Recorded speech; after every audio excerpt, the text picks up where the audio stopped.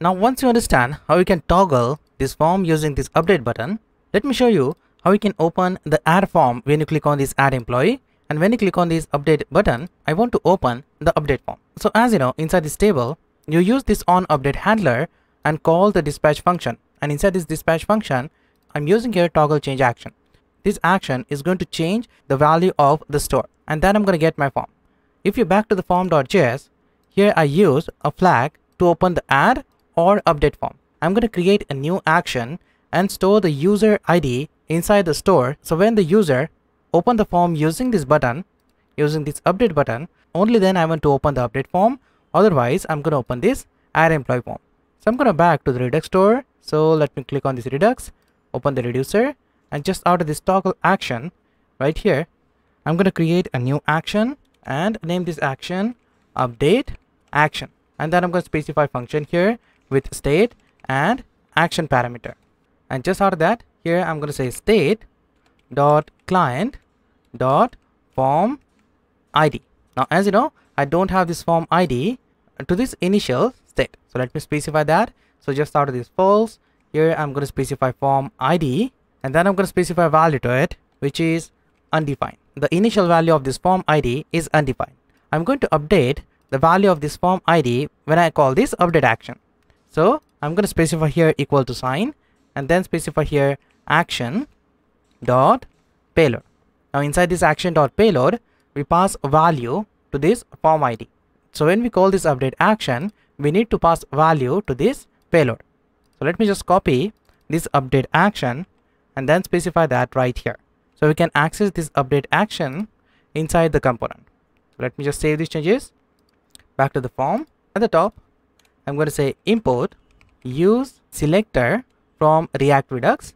And then I'm going to say here constant form id is equal to use selector. And I'm going to call here a callback function with the value state. And from the state I'm going to get the current value of the user. So I'm going to say here state dot app dot client. So I'm going to access these properties this one inside this form app dot client and then we specify dot form id now once we specify that to this form ID, I can simply specify this form ID right here. So if we have value inside this form ID, I'm going to just print the update form, otherwise print the add employee form. So let me first specify the update form and then I'm going to specify the add employee form. Let me get rid of this flag right from here. So I'm going to back to the table and here when I click on this on update button, I'm going to call an action. So here I'm going to say if visible. So if the form is visible, then I'm going to execute this if block. And here I'm going to say dispatch. And inside this dispatch, I'm going to call update action. So at the top of this table, here I'm going to call update action and scroll down and then specify that right here.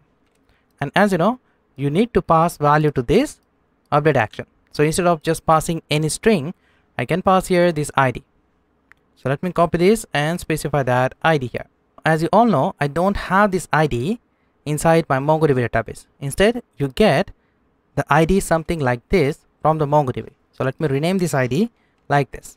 Back to the project, reload it. When I click on this add employee, I'm going to have this add employee form. But when I click on this update button, you can see I'm going to get my update form. Now what I want when I click on this update button, I want to fill these text boxes with the record. So let's suppose I click on this first update button. I wanted to fill all these values in these text boxes. But before I show you how you can update your record, let me first grab this statement right from here and then specify that inside this update user form.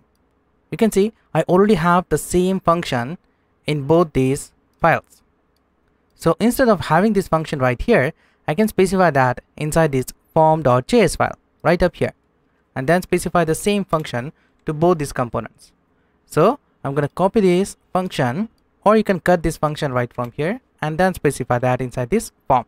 And just of that, I'm going to grab this statement from this add user form and then specify that inside this form right here.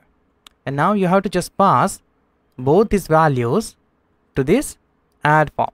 Here I'm going to call a function add user form and inside this parenthesis I'm going to pass an object and pass form data and set form data.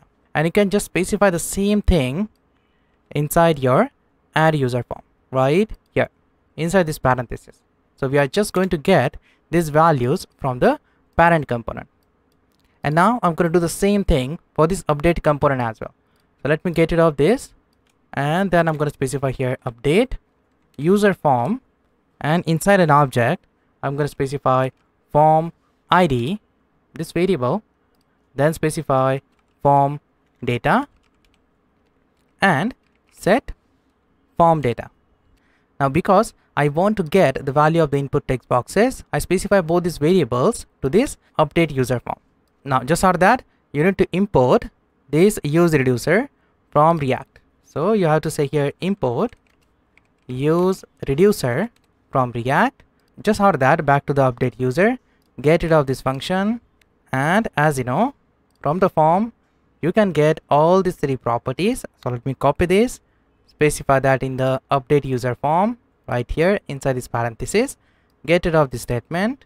And now you can get all the values of your input text boxes using this form data variable. And you can set a new value to this form data using this set form data function